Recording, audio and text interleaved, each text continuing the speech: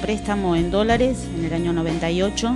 el préstamo fue a nivel privado eh, para hacer unas refacciones para este inmueble que estás viendo.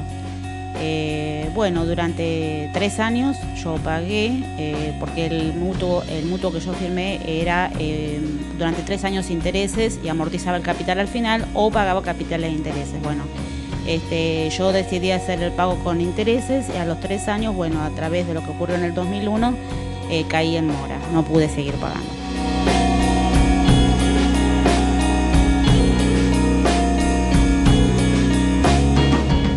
gobierno que estaba en ese momento, el doctor Néstor Kirchner, crea una ley, la 25798, y entramos en un sistema de refinanciación hipotecaria.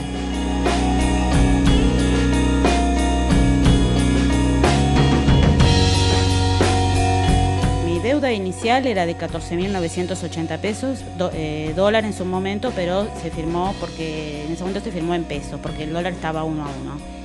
Este, en este momento me están reclamando una deuda que triplica ese importe y tengo 20 mil pesos de intereses sobre esa deuda.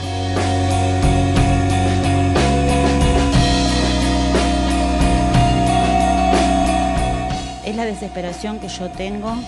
Eh, opté por poner en venta un riñón mío este, para salvar esta casa, eh, que es la casa que me vio nacer, es la casa donde viví toda mi vida y entonces eh, opté por tomar esta decisión, porque realmente yo creo que este, no me queda otra, porque no tengo de dónde sacar el dinero, no tengo forma de acceder a un crédito, no, no tengo forma y no quiero perder mi casa.